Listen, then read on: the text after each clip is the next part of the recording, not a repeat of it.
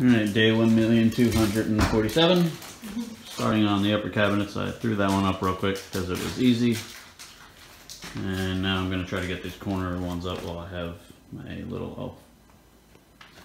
So, let's start throwing them up. Let's see how it goes.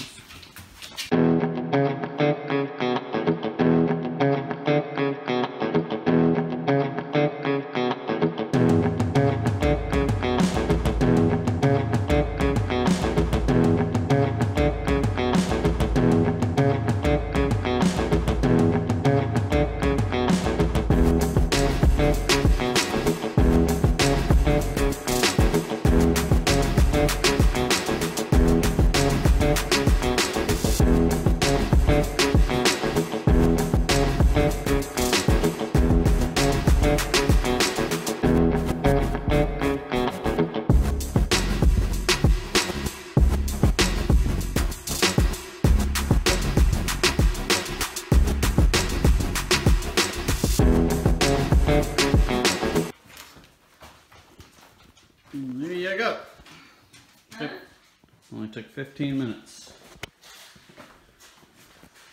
Get all the others. Ta-da! Up, but not level. They're not secure, not attached to each other. Although this one came out really, like obviously it'll have to pinch it. But this one is not off. We'll have to shim the back before we secure it. But uh, overall, they're, I mean, they were level decently, so that's good. This corner cabin was actually a little less level than the other one. I was worried about the other side, but so then in between here, we'll get a filler piece like this guy that once we get this set in stone, I did kind of just bump it around so that this measurement is the same as that measurement. Um, these will have panels, gray panels on the side, just like this one does. That's the only panel I've installed so far. Um, there'll be a gray panel on the side of this one. There'll be a gray panel on the side of this one. And then the shelf that goes here is a small nine inch shelf. It's already gray. It's a different color gray though than the rest of our cabinets. I think we knew that when we ordered it. So I think we're actually gonna paint it like a completely different color, maybe like a dark green or just whatever kind of accent color we want in here because the doors are gonna be this light gray all throughout. The countertop is gonna be a black quartz and then I think we're gonna do like a white subway tile. So then we could kind of maybe just do a uh, pop of color with this little, this little shelf actually has like four little like wooden pull-out drawers and you keep spices or whatever in it. Um, so then once I get that installed, I'll have to kind of maybe move this shelf around, figure out so there's a perfect gap between when we have the range up. Not sure how, or the vent, sorry. Not sure how wide it is. I imagine it might be just as wide, 30 inches like the stove. But once I install that, that'll probably be a, a day all in and of itself. But the uppers are up. And they were actually for, I mean it's a lot easier when you have help but cabinets aren't too heavy. It was just a little awkward because the lower cabinets are in. But I mean we got them up and now I'll just get everything shimmed leveled locked in and then secure to the wall and then those should be done. I could actually probably start putting well I could start putting the doors on and all the stuff inside but actually I still have to run the under cabinet lights and might be a little bit harder if we start putting stuff in them, so we'll see. But uppers are done. Let me kind of back up so we can kind of get a full scope of it all.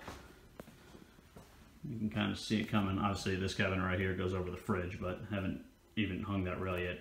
So I guess my next thing will be, I gotta pull the fridge out, pull it up a pretty good bit, hang that rail, and then I have to do the big cover panels that go on both sides of the fridge. Those things are freaking heavy, dude. So, not looking forward to that. They're on the other side of that couch. You can see that long cardboard. Those are the two big fridge panels. So, I'll probably need help doing those. So, but there you go.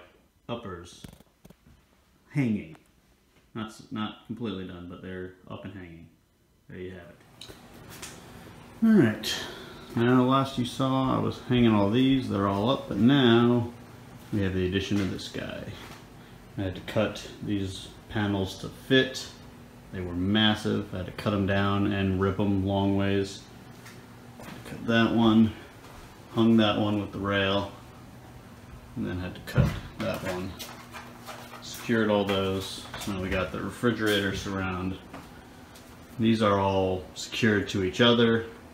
And then this one's secured to the wall. That one is not. That one's secured to the wall. That one is not. That one I want to leave movable.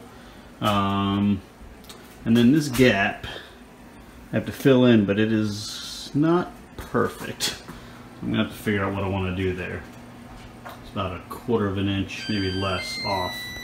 So I'll have to figure that out. But if we take a step back now, you could really kind of enjoy the song and dance from my Samsung oven. Kind of get a good feel for how it's looking. So I think that's where we're going to stop for today. Tomorrow they're coming to install new windows in the basement and then that window and then the one on the stairs. So while they're doing that, I might try to cut that filler piece, get that in, and then I'll probably be working on replacing just a bunch of the old can lights and a lot of the exterior lights. So that'll be tomorrow. But pretty good for end of day, so we'll stop there.